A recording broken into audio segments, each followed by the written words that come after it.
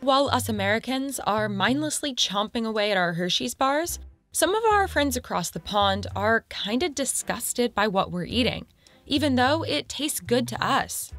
They've said American chocolate tastes like vomit and earwax, called it sour and bitter. In some parts, it's a matter of taste, yes. But actually, there's a scientific reason why Europeans think our chocolate tastes so bad. First, we have to do some debunking. If you look at the nutrition labels of a European Cadbury bar and an American Hershey bar, this is what you'll see all the ingredients listed by net weight. You may note that in the Hershey's bar, the first ingredient is sugar, but in the Cadbury bar, the first ingredient is milk. So you might think, bingo, there's the reason some Europeans say American chocolate is sickly sweet. But actually, you'd be wrong.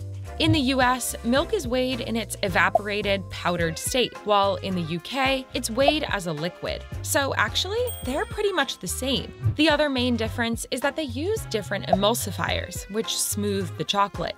Hershey's uses soy lecithin and PGPR, while Cadbury uses E442 and E476. Again, this seems like a big difference.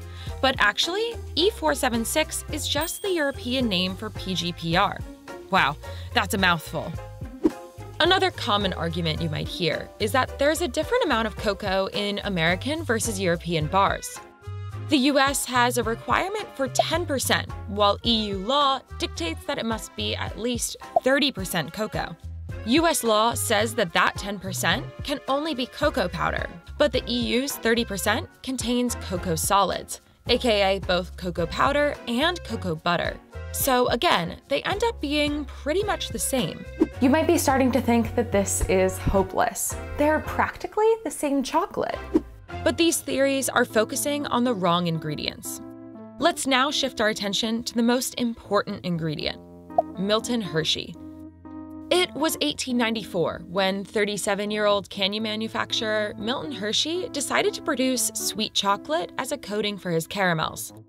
It was a novel concept for the day, considering that milk chocolate was a rare treat for the rich and famous.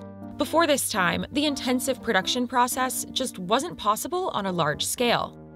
But Hershey found inspiration from Henry Ford's production line and decided to apply that process to chocolate.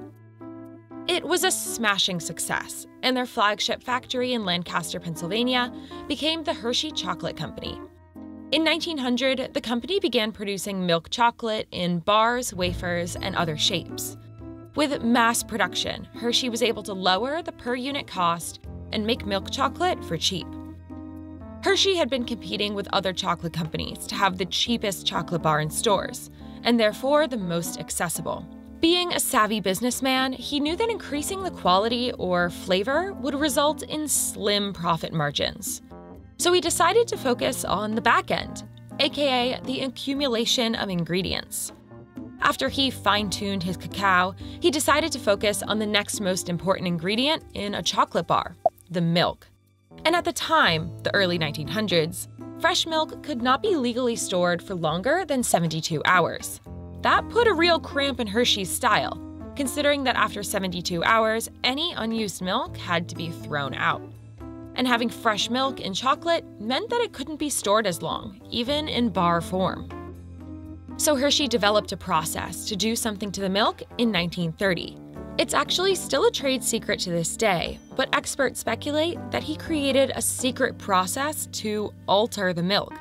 It kept the milk fresh past 72 hours, it gave Hershey the edge to make the cheapest and most widely accessible milk chocolate. But that process had an unexpected effect on the chocolate itself.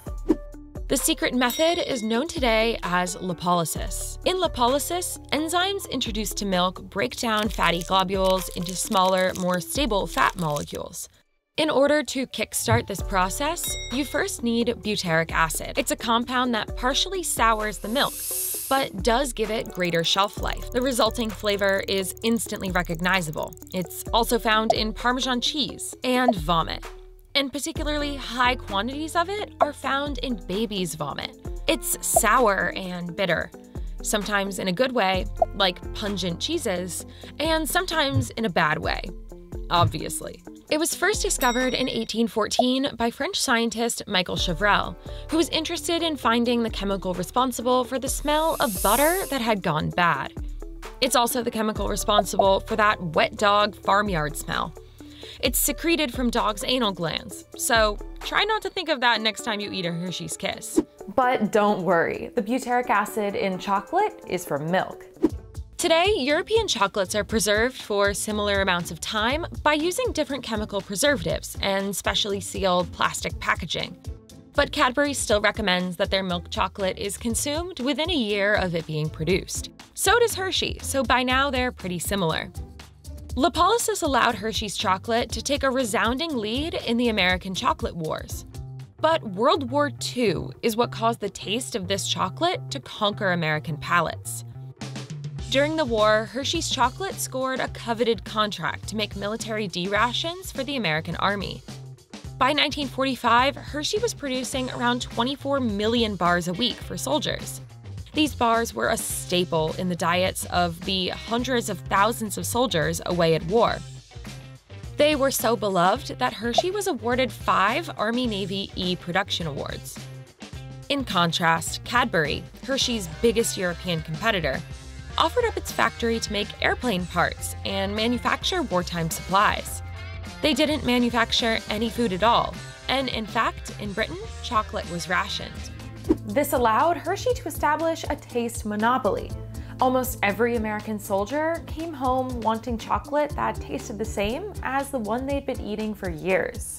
Since all of the bars that Hershey made for the government used this top secret milk stabilization method, Soldiers got used to the unique taste.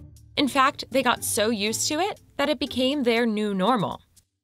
Because of the wild popularity of Hershey's post World War II, other chocolate companies in the US added butyric acid to their chocolate to mimic the flavor of Hershey's that all the soldiers absolutely loved.